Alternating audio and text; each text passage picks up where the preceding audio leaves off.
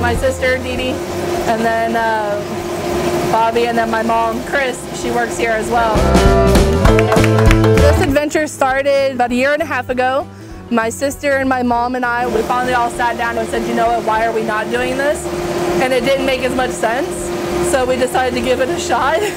so we started planning actually at Barnes & Noble, sitting around drinking coffee and coming up with all the reasons why it wasn't a good idea and how it could go wrong. We tried to shoot it down in every possible way that we shouldn't do it. None of them seemed to balance out enough for us not to take the chance, so we decided to look into opening up a restaurant and we thought a food truck would be a good way to start it out. And that's when we went to Fat Frog and we started getting our trailer built.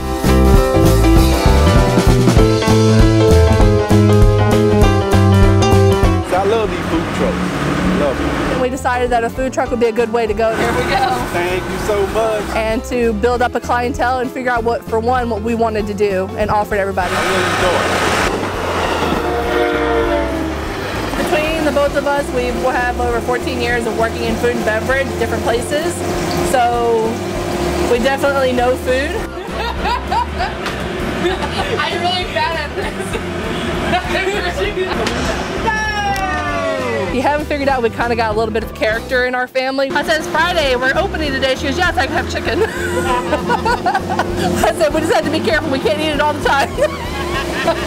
we like to have fun and we joke around a lot. The logo, we wanted something funny. We wanted something that would catch people's eye. This kind of fits our personality. The funny chicken that looks clueless sitting there in the pot like he's having a great time. The, the bulldog like, yes, I know what I'm doing. Yeah, he's just chilling out in the pot like it's a hot tub, not knowing. The three piece, what kind of size did you want? She ended up ordering two meals. So it was like, my confidence went really high because I'm like, yes, yes, we got one. we get a couple of repeat people that come up and she showed up to give us a shot. They keep coming back. I said, so we must be doing something right. She smiled and she ordered more food. I was just like, Whew, oh my gosh. It was just, it was amazing. I don't know, it just made me feel so good. And it's nice to know that what we're doing is actually appreciated and people like it. We're right here next to Oak Ridge Road where you can see us no matter what direction you're going. Right next to the railroad tracks. If you know where the only railroad tracks are in Oak Ridge, you're definitely gonna find us.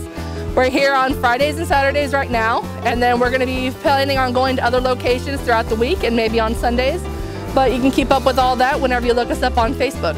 My advice to be with people, if you're coming out to try it out, then come get a two-piece dinner. I mean, it's two pieces of chicken, you get two sides. We have the, the basic sides, you got french fries, mashed potatoes and gravy, baked beans and coleslaw. However you guys want to try it out, we're here. Do you